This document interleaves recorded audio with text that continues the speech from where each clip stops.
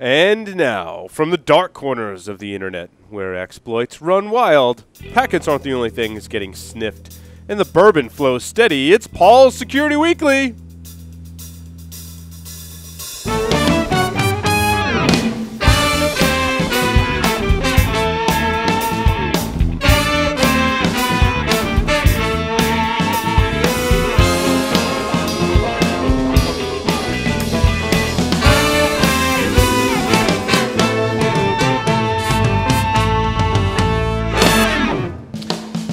Segment is sponsored by Palo Alto Networks, creators of the next generation firewalls, helping you enforce network security policies based on applications, users, and content. Visit them on the web at paloaltonetworks.com. And by the SANS Institute, the most trusted source for computer security training, certification, and research. Visit SANS.org to learn more. And by Tenable Network Security, creators of Nessus, the world's best vulnerability scanner. Check out the new Nessus Enterprise and Nessus Enterprise Cloud to engage your IT department in the vulnerability management process today. And by Black Squirrel. Pentest networks from your browser. Exploit the limits of network security through just a browser. Have a Chrome exploit in your toolkit? Good. But for the rest of us, there's Black Squirrel. Visit blacksquirrel.io for more information. Now, fire up a packet capture, pour yourself a beer, and give the intern control of your botnet. I'm your host, a man whose chest hair really isn't on his chest, in a hair length rivaling that of Jack Daniels' beard. I'm Paul Asadoorian. Welcome to Security Weekly, episode 402. That's right, 402. And this is first G- law requiring high school students January 15th. Background noise there. Sounded like Space Rogue, which doesn't surprise me. In any case, it's January 15th on Thursday in 2015. I'm very excited to be here. A couple of announcements before we get started. Security Weekly listeners receive 10% off products in our store with the discount code IHackNaked. That's right. If you hack naked and you want to tell everyone on your shirt, but if you're wearing the shirt, you're really not hacking naked, but that's okay because you're suggesting that others hack naked, even though in our field that's a very dangerous thing.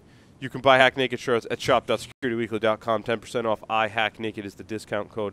Please join our new discussions mailing list. We've retired the old mailman server and moved to Google Groups. You can join the new list with a link in the show notes. Like to introduce my illustrious hosts that are here with me, but not really, over the lines via Skype this evening. Uh, starting from left to right, Mr. Joff Thayer is here with us. Welcome, Joff. G'day, Paul. How are you? It's good to be here again and good to see all the whole crew. Actually, a lot of the crew we saw in show 400. But anyway, That's right. uh, yeah, great, great to be here. It's a wonderful New Year. Is it? Is it? Is it un, uncoordinated to say Happy New Year when it's still like? I think this is about now? the cutoff for that, Joff. So It's about the cutoff, isn't it? Yeah. Uh, Anyway. After today, that's it. Uh, Carlos Perez is here with us from Puerto Rico. Welcome, Carlos. Hey, Paul. Happy to be here. Yes. And we've got a, a, a cast of characters over there on the rightmost frame in the video. I see Space Rogue with his typical antics. I see Jack Daniels' beard. They're at ShmooCon. And um, welcome Jack Daniel, Chris Thomas, a.k.a. Space Rogue. And is that, who is that? Oh, uh, Steve McGrath is there. I couldn't see him because of his hat. Welcome, Steve. I can't hear you guys, but welcome. I think Jack muted the microphone because you guys were talking during the intro, though, which is which is Yeah, okay. that's that's so Steve and uh, and Mr. Jeff Mann Jeff is here Mann is somewhere, but he is he has run away. He's not on camera. okay. I Uh, for the gotcha. for the news segment, we'll get a wide angle shot going. yeah, I've got some very exciting news to talk about. Um, I love news. I'm excited about the news, Chris. I, I didn't know you were going to be here till just before the show. Neither did I. Yeah, so I we'll have to talk about the news because I'm I'm excited about this week. I spent some time preparing it because I didn't know who was going to be on the show to discuss the news, so I spent a little extra time doing that. And now that you're here, I think it's going to be even more dynamic. All Um, you need to do is find news from about 1995 That's and right. reread it. Exactly. L0pht did it. L0pht did it, and then Chris can say L0pht did it to every news story. Excellent. Um, so thanks everyone for joining and taking time out of your shmoo to to do this. Uh, I want to introduce, our, uh, and we're going to have a technical segment. I should say our first interview is coming up, and then we're going to have a technical segment by Joff, and then we're going to get into the news. So hang in there. uh, listeners and viewers. Our interview for this evening is Kim Crawley, who was involved with computing at a very early age. At age eight, Crawley managed to edit AutoExec.bat on her father's Windows 3.0 machine, which for me, the computer never worked after I edited AutoExec.bat, which says a lot about me. Um, but it sounds like you were more successful as your dad was complaining the OS took too long to uh, boot. She's been on the web since 93 from there, she taught herself web development and is now an information security researcher with the InfoSec Institute, specializing in malware and cyber warfare, which is a very timely topic. Kim, welcome to the show. Thank you very much, Paul. Um, so, uh, Kim, how did you get your start in information security, other than what I listed there? Uh, kind of fill in the, the blanks for us. Well, I started in IT by doing tech support back when I was in my early 20s. And I found that a large percentage of my tickets were related to security, like a lot of malware issues, usually. And it, I was mainly supporting Windows. So, and you know that Windows has always been like Swiss cheese with security vulnerabilities, right? And, you know, ever since the, the 90s, there's been loads of Windows malware on the internet. So, I saw I saw like really minor, typical everyday malware issues. I saw some pretty catastrophic malware issues that affected workplaces, even like even stuff like router malware and a lot more in-depth stuff like that. And it started making me really interested in security and I started writing for the InfoSec Institute's resources website back in 2011 and I've been contributing to their CEH and CISSP training program material. So it, has been great, and I've had a lot of opportunities to write about various information security matters for CSO, CIO, Computerworld. I've got an article coming out in 2600 mag, I think, in the spring issue. So it's been great. Awesome. Now, you mentioned uh, router malware. Have you seen an increase in malware infecting embedded systems in the past three years or so? I don't know if there's been an increase. Like, there's been a lot. Hmm. I, I, I don't I don't really have any solid way to measure whether there's more of it now than there was five years ago. I mean, obviously, Cisco equipment is more vulnerable just because there's a lot more of it out where there, right? So if you're going to write something to target networking infrastructure, it would make more sense to write it for Cisco. But there's there's got to be some that affects Juniper and other technologies like that. So yeah, do you think it's our um, our limitations on detecting it, not so much an interest in writing it and implanting on these systems that kind of makes it you know slip under the radar? Well, I mean, intrusion prevention systems are getting really sophisticated these days. Like it's really impressing me. And, you know, we've made great strides in anomaly detection algorithms the past several years. I, it's, it's always a cat and mouse game. Like malware is a cat and mouse game. DRM and cracking DRM is a cat and mouse game. It's just all constant Tom and Jerry here and there. You know, a more a, a really secure technology will come out, someone will crack it it's all inevitable, right? You just got to stay on top. Um, so, what, given that, what's the most effective way for organizations to deal with the malware problem? Like, if you had to consult with an organization that was was you know we all deal with malware, um, and they were like, we feel like we're really losing the battle. Like, what what would be some of the top recommendations you'd have for them?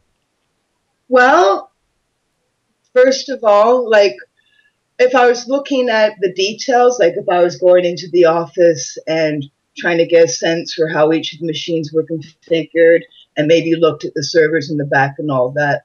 I mean, I would, from all my experience in tech support, you, you learn a lot that the really obvious dumb stuff is often overlooked. Like you could find that an AV shield hasn't gotten signatures for a few days you could find that there's an OS install out there that hasn't been patched for over a year.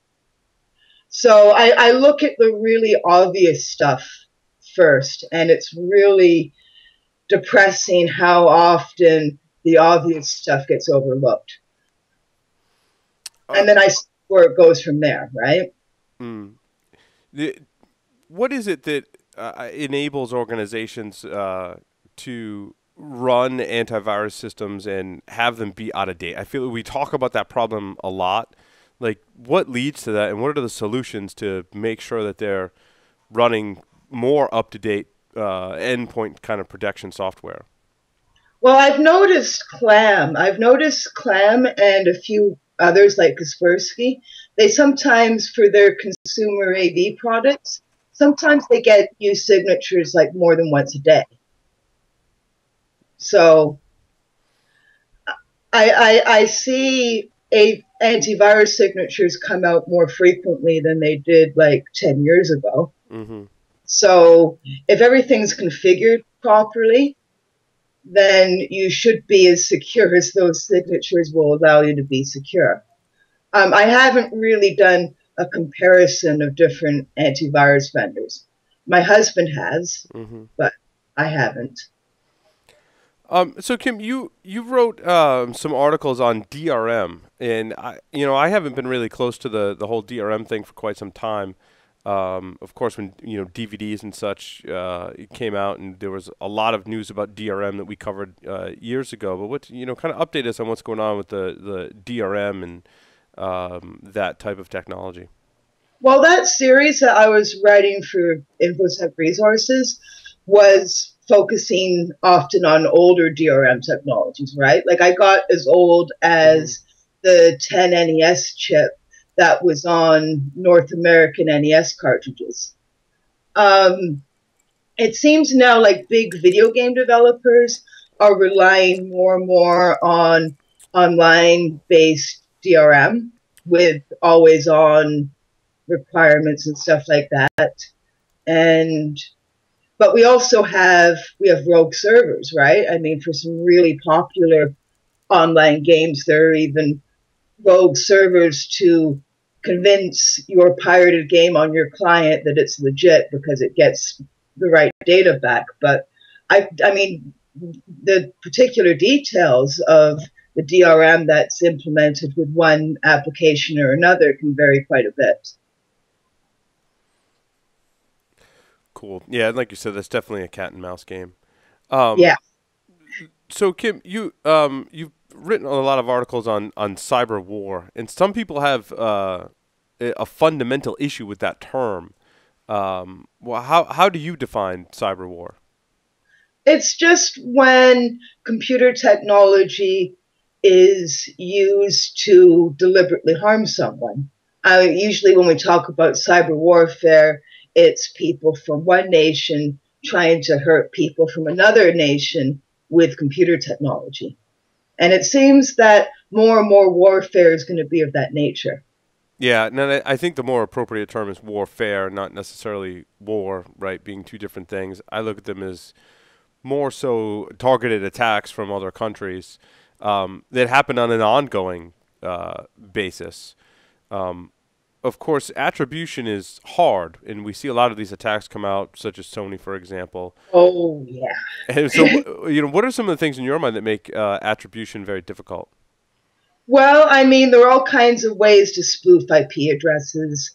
There are all kinds of ways to spoof MAC addresses. Or, you know, one party could be using proxy servers in a completely different country. So, all of those are ways that it can be difficult to get the correct country and location for an attacker. If they're really sophisticated, they know what they're doing and they're covering their tracks.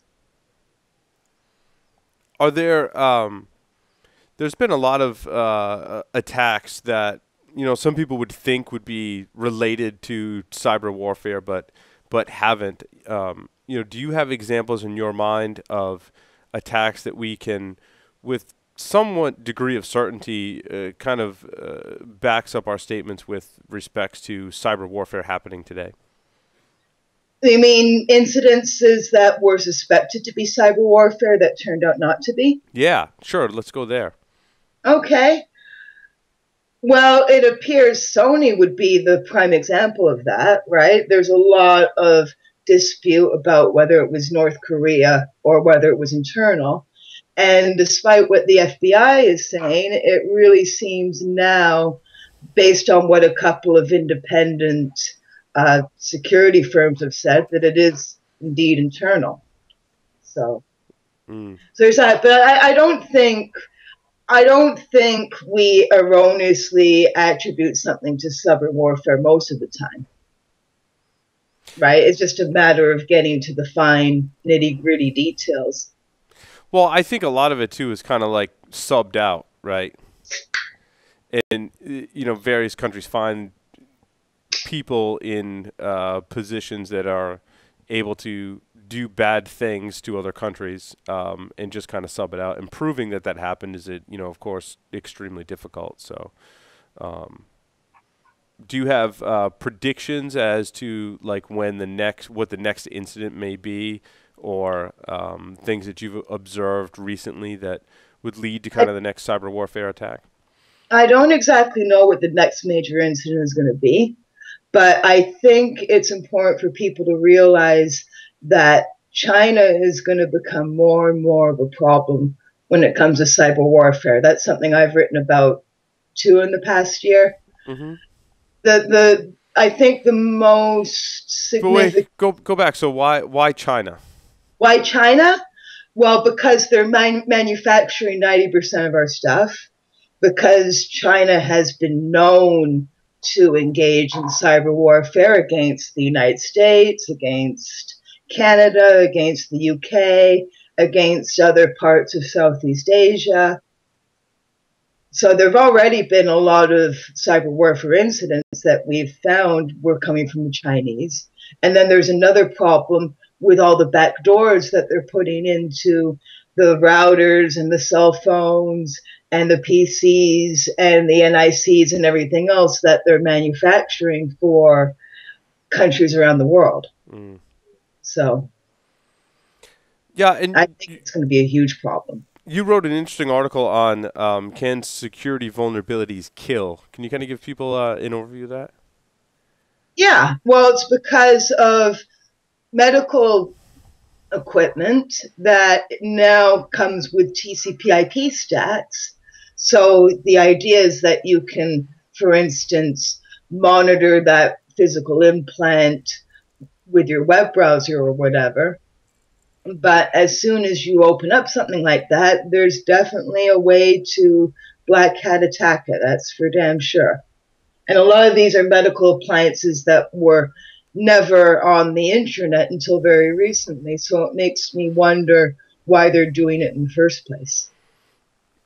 Kim, do you have articles that you're or an article you're working on now that you want to kind of give people a sneak preview for? Okay, I'm almost done an article about the latest version of Silk Road that's using the I2P network as opposed to Tor. Cool. So that's going to be really interesting. Nice. Um, so uh, Kim, are you ready to play five questions with Sure thing. Alrighty. Three words to describe yourself. Three words blunt, honest, intense. If you were a serial killer, what would be your weapon of choice? Oh, poison, probably. If you wrote a book about yourself, what would the title be? Born on Friday the 13th. In the popular game of Ask Grabby Grabby, do you prefer to go first or second?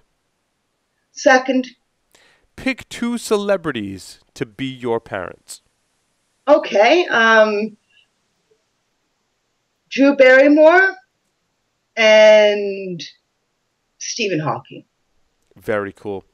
Uh, and Kim, where can people find your blogs? Uh, I assume on the uh, infosec uh, Okay. info- institute.com. Is that correct? Um, there are some really lengthy URLs. yeah, they are. Infosec um, Institute is one, correct?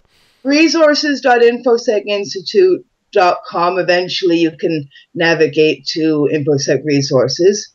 InfoSec Institute, the the Pepsi to your advertisers, SANS Coca Cola. I'll drink whatever cola I'm paid to drink. Just don't expect me to drink any Kool-Aid. well, Kim, thank you very Um, much. Oh, sorry. Just- go just- ahead. Just Google me. That's what I recommend. Excellent. Kim, thank you very much for appearing on Security Weekly.